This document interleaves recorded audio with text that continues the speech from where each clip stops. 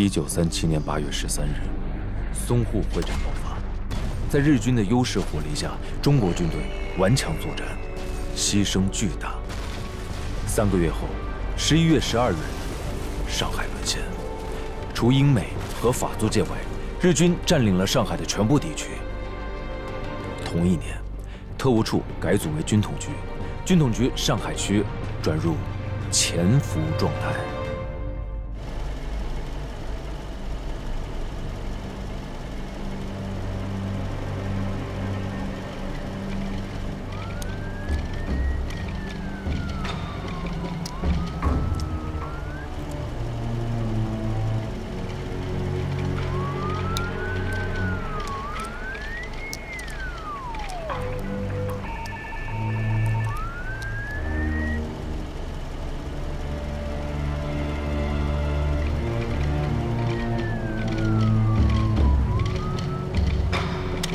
北斗から距離は 200m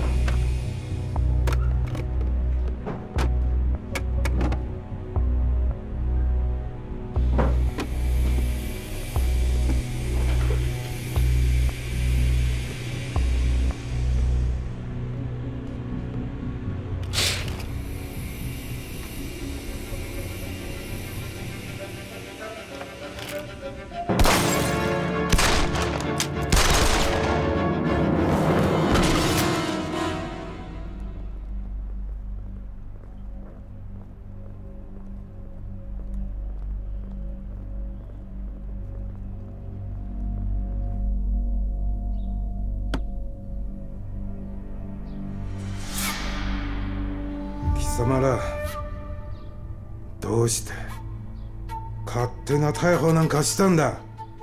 必要なのはただの無電か？いや無電の後ろの人間なんだぞ。高橋大さんすいません。いやお前には全く分かっていない。この無電は中国共産党構想上委員会のものだ。その背後には漁師がいるかもしれん。彼は共産党の上海地下情報網のトップだ。この無電はとっても重要な手がかりなんだぞ。それがお前らのせいで水の泡になったんだ。落ち着いてください。漁師の発信者が死に無電も押収しました。奴が新しく無電を設置すれば手がかりは見つかります。共産党の動きは早い。注視しなければならん。漁師の新しい無電は上海の仙台の商業ラジオから洗い出すんだはい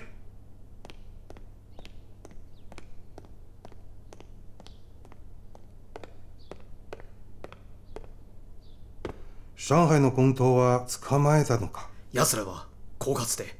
二人は包囲網の中から逃げましたが軍刀に派遣された者はその場で射殺されました。憤りもできなかったのか？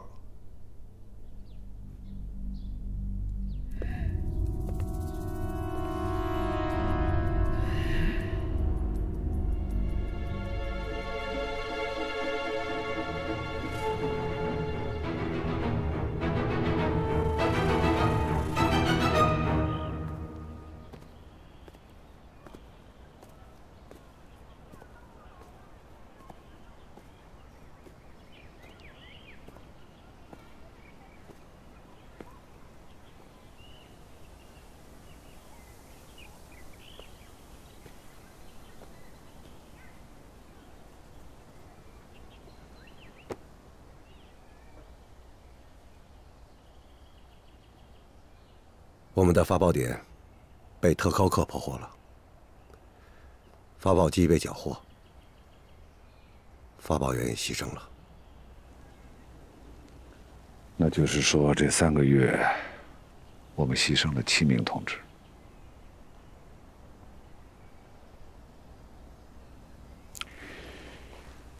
这里面是龙华机场的资料。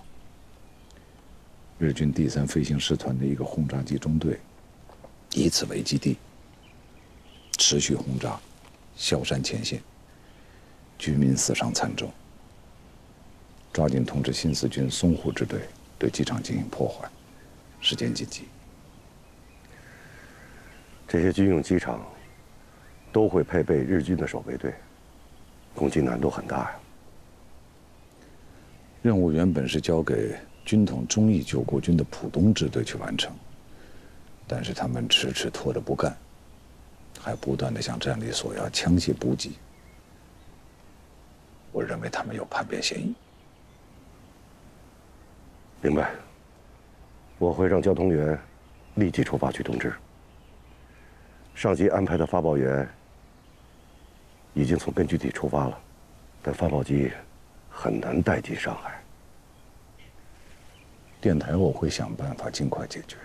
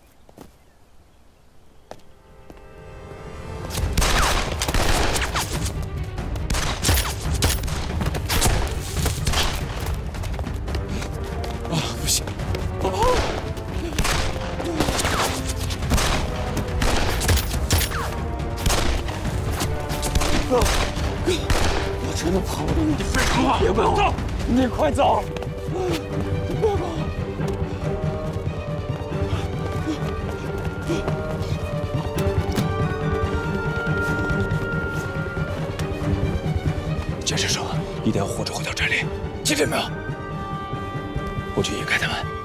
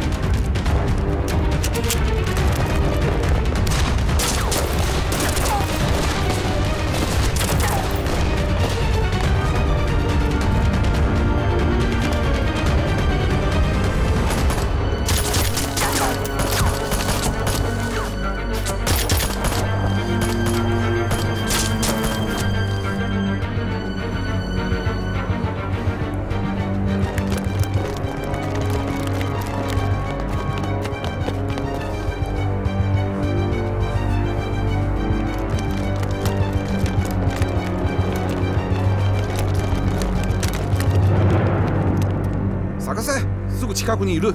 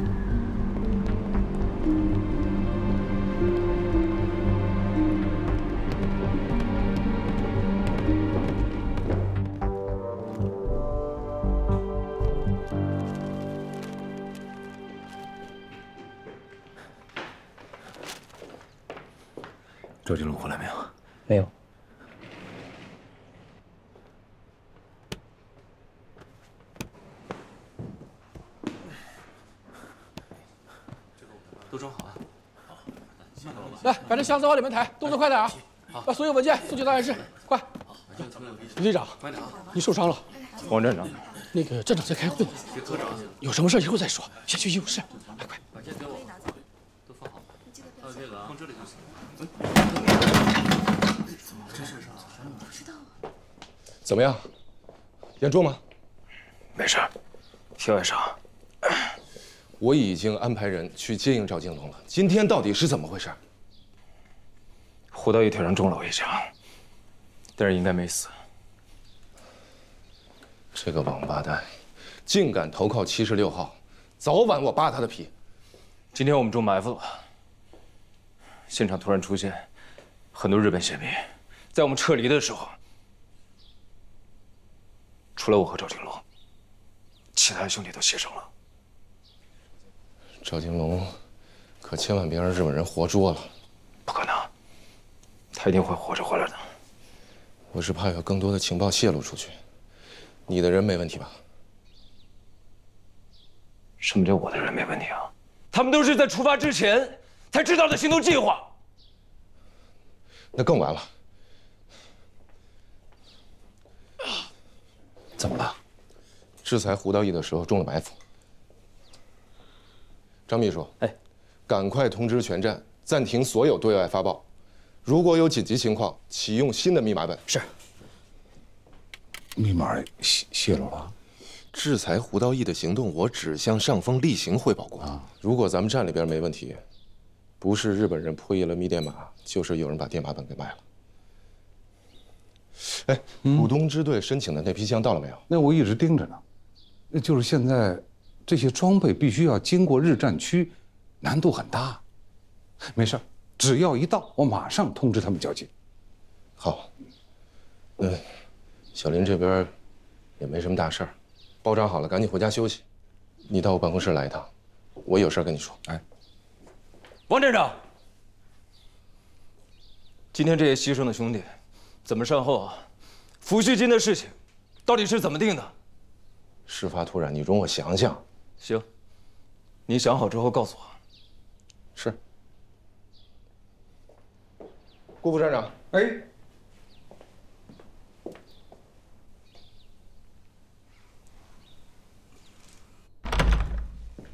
看见了吗？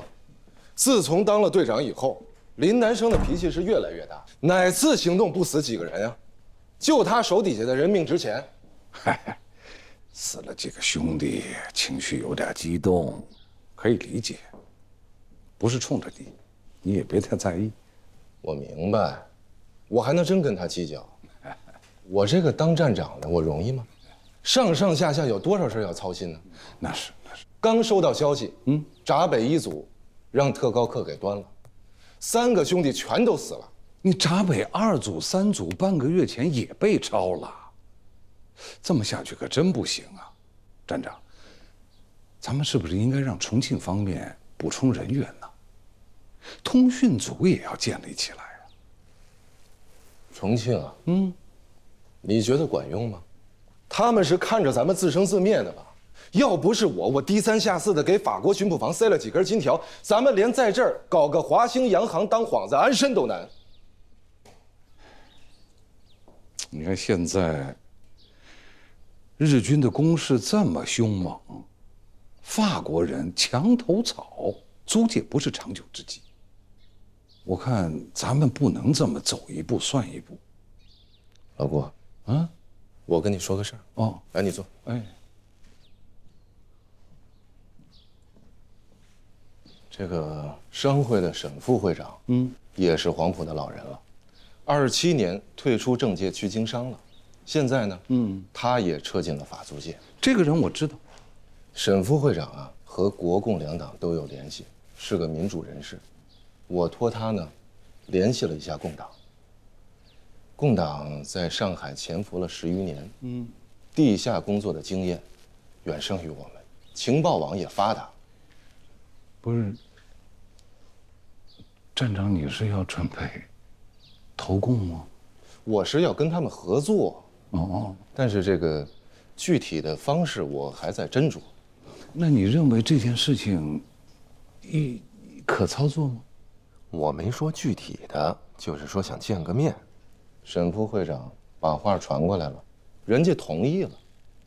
但是现在呢，咱们是得要派一个人去跟共党那边负责联络。嗯嗯，你觉得林南生怎么样？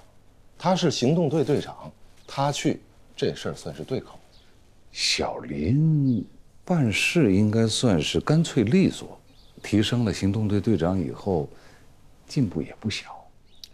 关键是什么呢？嗯，他有渗透的经验，他去，咱们不用担心共党那边有什么小动作，说不定这个如果要是发挥好的话，嗯，还能把共党那边负责接头的人给调过来。站长高明啊！还是我的副站长会聊天啊！如果这件事办成了，说不定关键时刻能把共党拉过来替咱们挡子弹。跟踪目标的时候，你身上要准备零钱。对方吃饭，你吃饭；对方乘车，你乘车。你身上有零钱的话，就会省去别人找你零钱的时间。如果为了跟踪连找的零钱都不要了，这就会引起别人的注意。做隐蔽工作，最重要的就是不要让别人关注到你，甚至怀疑你。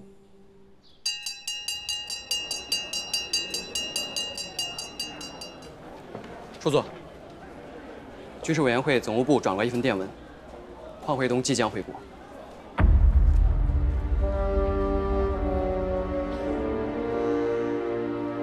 另外，周耀庭副局长在会客室，请下课后过去一趟。周耀庭，对，他说什么了吗？没说。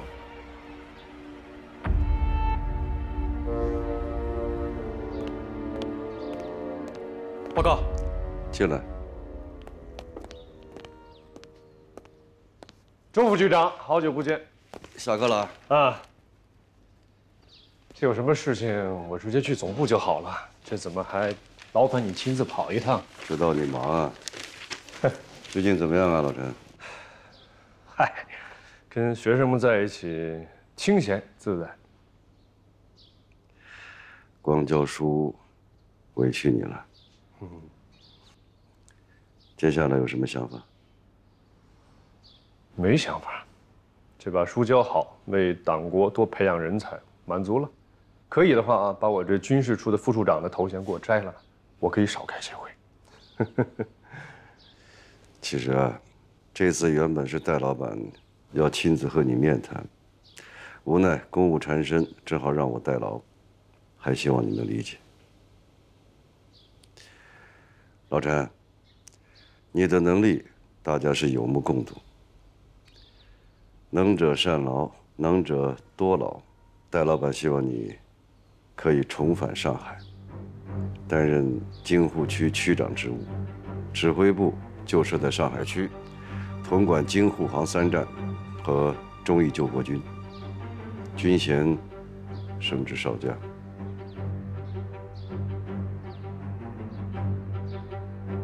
回上海不合适吧？这当初我怎么离开的上海，周副局长你最清楚了。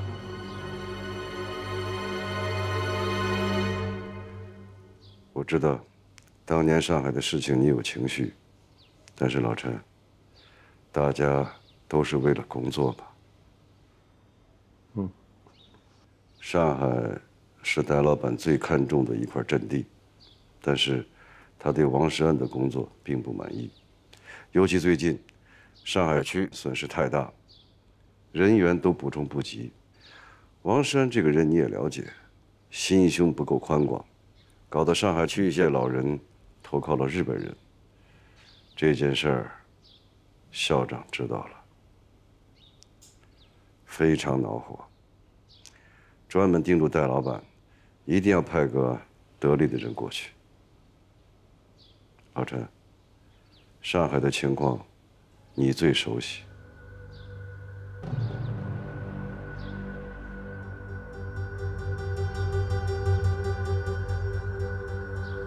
我可以回上海但是有两个要求。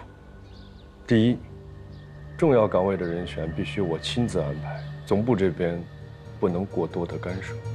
这个好说第二呢？回上海之前我要去一趟香港处理一些公务。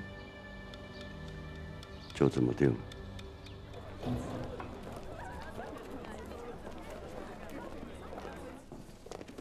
顾副站长，嗯，哎，小莲，正找你。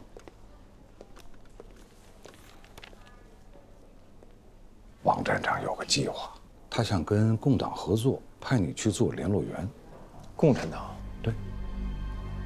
是您安排我去的吗？啊，上峰的决定，我负责传达。那您想让我去吗？我们大家一致认为，只有你最能胜任。你有问题吗？没问题。好，具体的接头方式。地点，等我通知。是。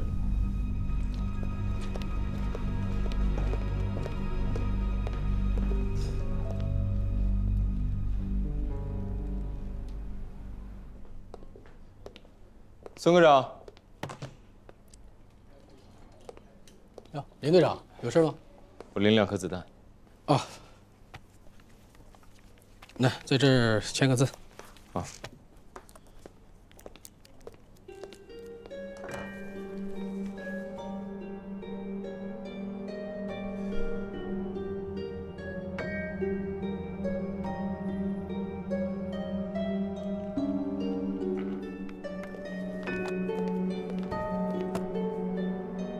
好。浦东支队的电台，顾副站长还亲自负责配发呀？是啊。好了，顾站长刚领走，真是长官工作细致啊。站长的事儿啊，咱们少操心。我就随便一问。走了。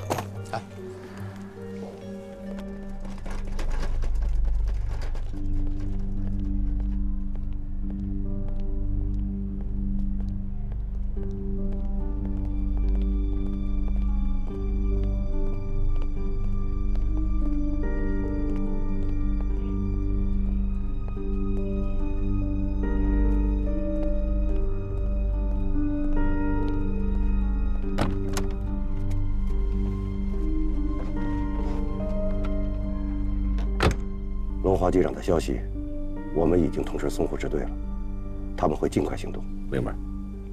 商会的沈副会长是不是递了话，说王世安要联络我们？确实有这件事。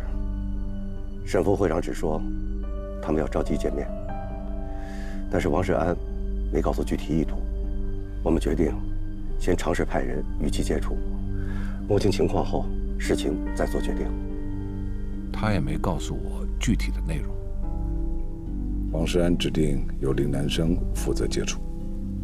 林南生，怎么是他？很简单，他曾经跟我们打过交道，有经验。林南生给我的感觉很复杂。之前的事，他的确有帮忙，可那也是出于他的个人感情。本质上来说，他还是一个军统特务，而且还差一点就潜入到我们内部。八幺三以后，他的抗日热情很高。这个小伙子应该算一个爱国、有良知的青年。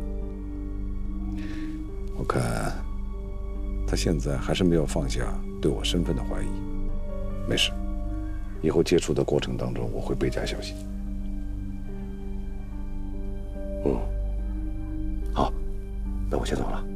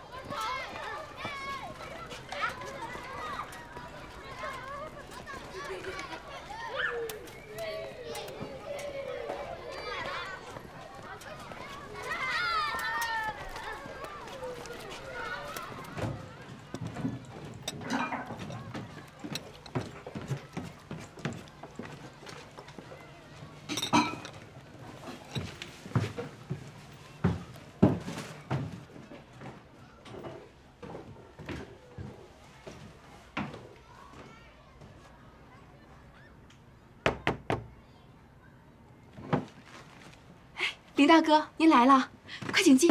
好，哥，你怎么？哎，你别动了，你躺好。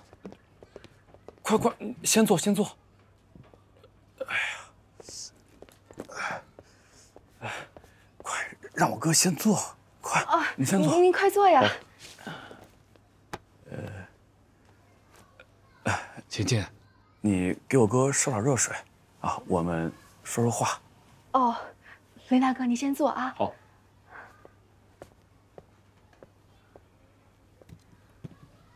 下楼慢点啊。晓得啦。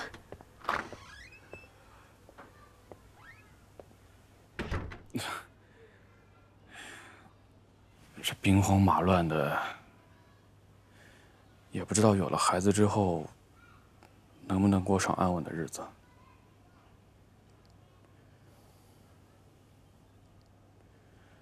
啊，队长，你找我有事儿。啊，我有个事儿想问你一下。什么事儿？你之前说你有个小兄弟是步东支队的。对，姓王，叫王水根。这个人可靠吗？非常可靠。我想见见他。好，我给你安排。哎，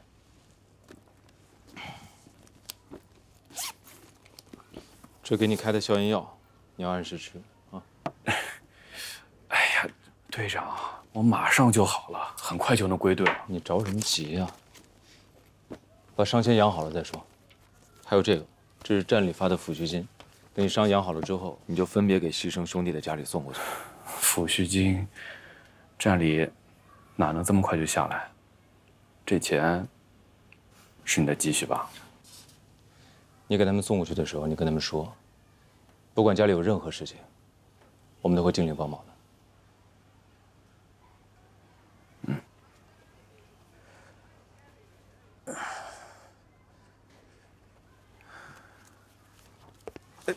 队长，这钱我不能要，你收回去。你先拿着。你太太怀孕了，以后用钱的地方多着呢，你先拿着。你跟我还客气什么呀？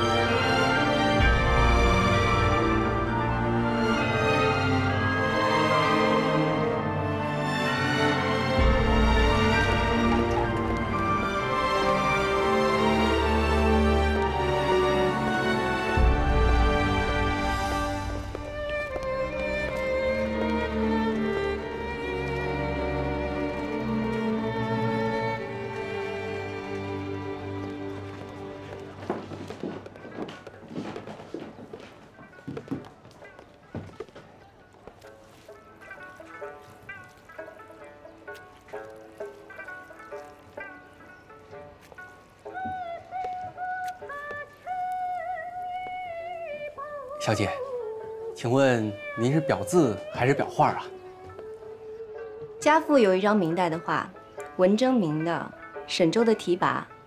你们这里可以帮我裱吗？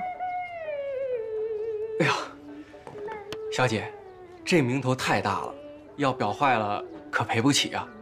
呃，我师傅出门马上就回，您看这样行不行？您先到屋里喝口茶，等一会儿。好。您请。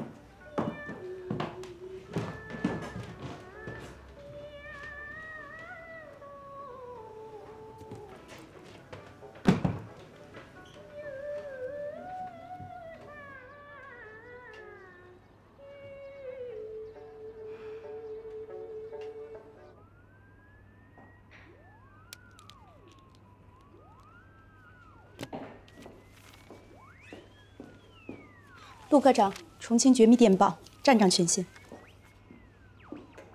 张芳芳，嗯，马上给王站长送去。好的。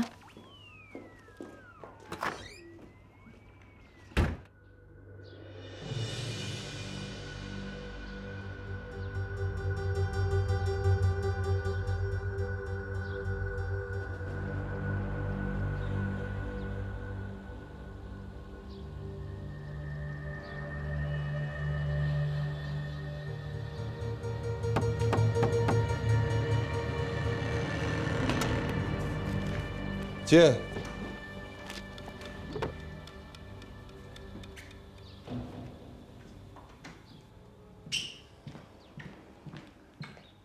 站长，这个呢，都是以第五通讯组的名义领取的空饷。啊，是今天，今天，我笼统算了一下这半年多的账，呃，再凑上其他的，去黑市。换几根大黄鱼，肯定不是问题。这个账本这件事儿，还有别人知道吗？绝对没有。这个账本在站里就根本不存在，只有咱俩知道。是只有你知道。是，站长，这件事情又不是一年两年了，你还信不过我吗？账本我留下。你赶紧去把黄鱼换回来，还是老规矩啊！你拿两成。放心，那你先忙，我走了啊。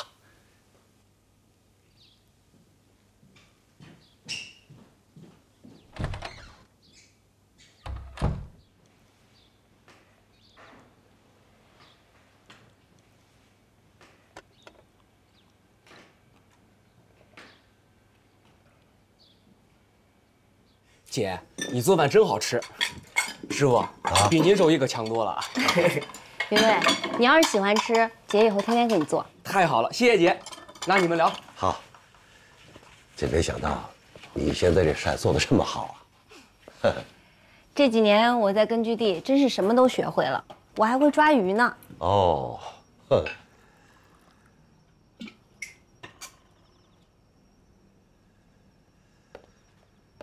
哎，好。我看报纸上说，八一三的时候，我们的学校被炸了。是啊，校工被炸死了五个。文学院的沈教授，没有来得及撤离，也遇难了。沈教授，我还听过他的课呢。我爸爸也认识他。这几年，你知道朱老先生的情况吗？他自从走了以后，就把上海这边的一切都结束了。八一三前后，不少像你父亲这样的大商人，都去了香港或者是美国。你放心吧，如果有机会，我会向上级申请，在安全的情况下。安排你去见见你父亲。谢谢老季。哟，这时间差不多了。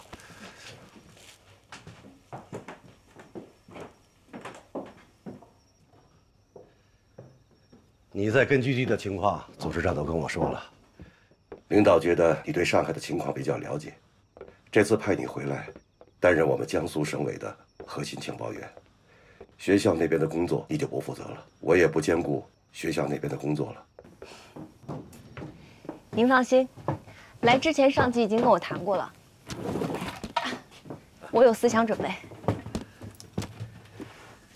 现在上海的形势非常严峻，汪精卫忙着成立伪政府，他们的特务组织上个月在吉斯菲尔路七十六号成立了。这个特务组织直接受特高课管理，不少原来国民党军统和中统的特务也都投奔过来。这些人无恶不作，手段比原来的特务处还要残忍。日伪军这次清乡。动作迅速，规模大，我们苏南根据地损失也很惨重。关于军统要求见面的事，那边来的接头人是李南生。刚才吃饭的时候，当着云伟的面，这一点我没有说，我还在考虑。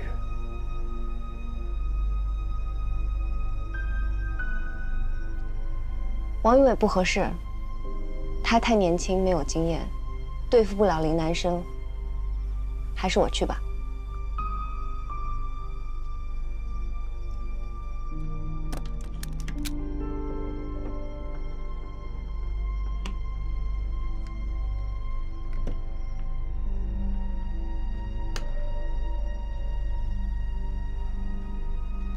老七，我对林南生早就有免疫了。即便遇上风险，也只会暴露我一个人，不会牵连其他同志。请组织相信我的判断。那好，这件事就由你来负责。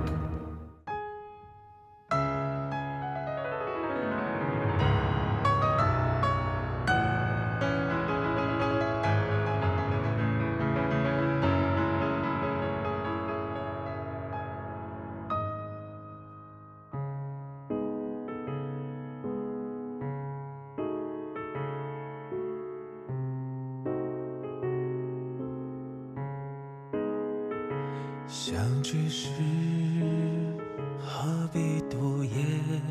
借一场过往给，坎坷路上找散些许彷徨。离别时只需默默隔